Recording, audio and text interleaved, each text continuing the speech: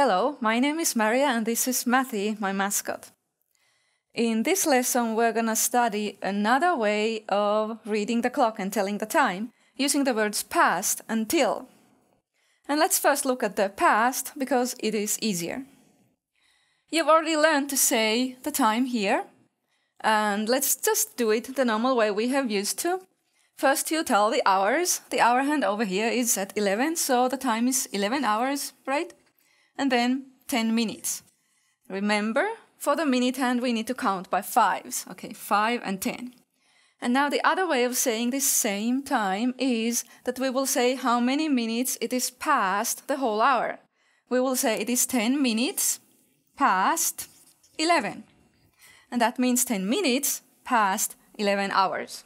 Okay? So it's pretty simple. It kind of looks like I switched the numbers 11 there and 10 there and put the word past in between.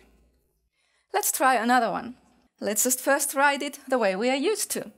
You look at the hour hand, so it is past 2 o'clock, 2 something, 2 hours, and then the minutes, look at the minute hand, over there, count by fives, 5, 10, 15, 20, 25.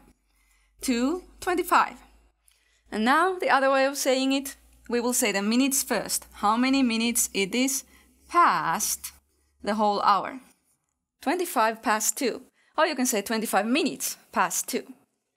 And we will use this past whenever the minute hand is here, 5 past something, 10 past, 15 past, or 20 past, or 25 past, up to when it is right here, pointing straight down, which is the half past. The half past actually is 30 minutes past the whole hour, but we will say it as half past the whole hour. Now we're gonna just do a few more exercises. But before I tell you those, why don't you pause the video and try them on your own?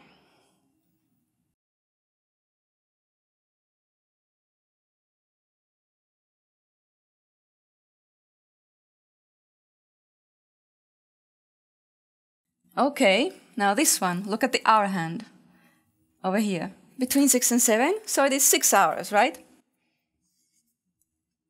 And the minutes, can you tell? 20, 6, 20. And the other way of saying it, 20 past 6. Over here, hour hand at 6. Again. Minute hand, just 5 minutes, okay? 6.05 or 5 past 6. And the last one for now, hours are 9 and the minutes 15. So it is 15 past 9.